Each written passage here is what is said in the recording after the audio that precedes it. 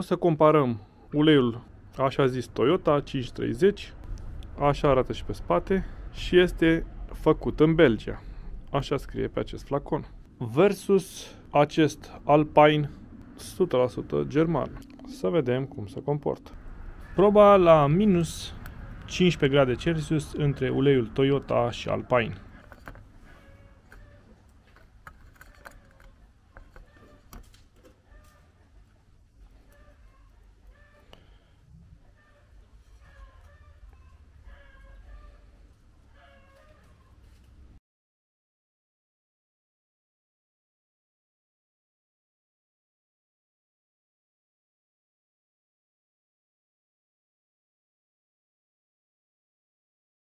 Proba la plus 30 de grade Celsius între Alpine și Toyota.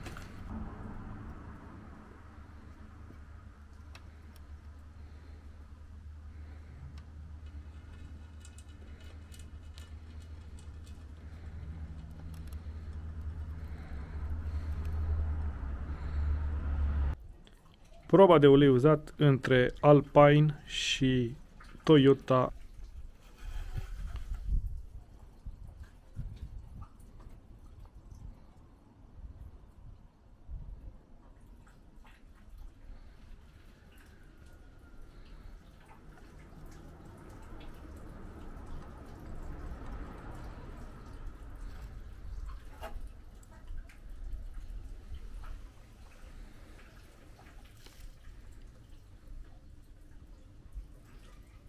Cantitățile sunt egale între Alpine și Toyota și așa, hai să le încălzim să vedem cum se comportă fiecare.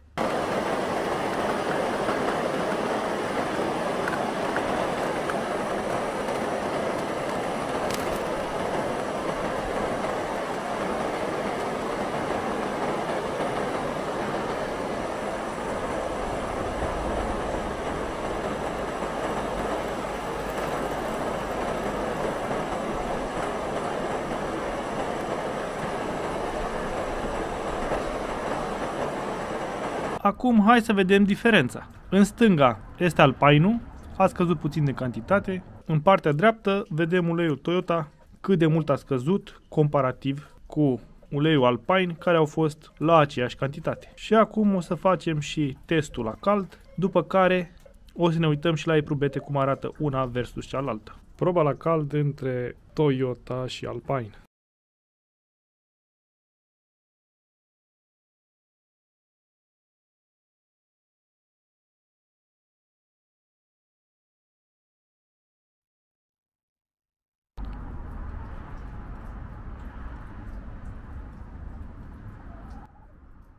Și aici putem vedea rezultatul de ce a câștigat așa de clar Alpine.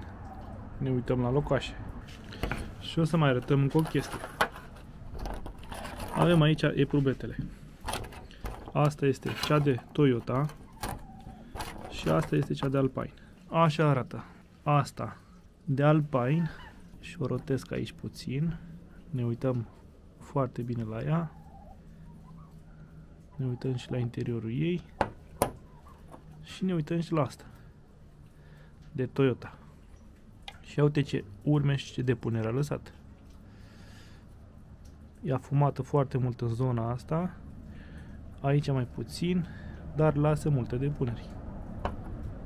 Și le mai pun încă o dată în acest suport ca să stea bine. În acest fel se poate observa foarte clar. Poate observa foarte clar și nu mai e nevoie să mai sparg eprubeta pentru că oricum pasta o să o arunc. Pasta de Toyota n-am ce să mai fac cu ea. Asta cred că se mai poate utiliza dacă o spăl foarte bine. Spune în comentarii ce ai alege, uleiul Toyota sau Alpine, având și diferența asta între ele, încă o dată. Nu am adus la test Eneos pentru a se lupta cu uleiul Toyota, pentru că, pur și simplu, dacă era un Eneos sau Eneos Premium, genul Eneos Sustina îl bătea extrem de tare și foarte clar. Nu prea avea sens genul ăsta de comparație pentru că în trecut, într-adevăr, Toyota folosea Eneos, dar Eneosul de bază, nu Eneosul Sustina. Folosea acel Eneos low cost produs împreună cu Petronas în Italia, în Malezia sau în alte țări. Dar nu folosea Eneosul Sustina pentru gama Toyota. Asta, bineînțeles, nu i-a împiedicat să vândă în reprezentanțe uleiul Toyota la suprapreț, foarte umflat, că ar fi un ulei de super calitate dar în realitate este aproape exact pe dos. Pentru că dacă ai curiozitatea necesară să mai vezi și alte clipuri pe acest canal, să poate observa destul de clar în comparația cu alte mărci, că nu o să mai fie clipuri, că nu prea are cum să bată uleiul Toyota mărcile așa zis cunoscute sau mărcile cu o oarecare experiență sau tradiție în domeniul auto. Bineînțeles că există și uleiuri mai bune decât Alpine, acesta ce l-am adus în test, dar ca exemplu, acest Alpine a bătut Ravenul Usfo, deci nu este un ulei low cost sau foarte prost, ci din potrivă, este un ulei de calitate, mai ales dacă îl cumperi din Germania, cum l-am cumpărat noi, pentru a-l aduce la test. Dacă vrei uleiuri mult mai bune decât cele prezentate în test, ne poți contacta și încercăm să răspundem la întrebări.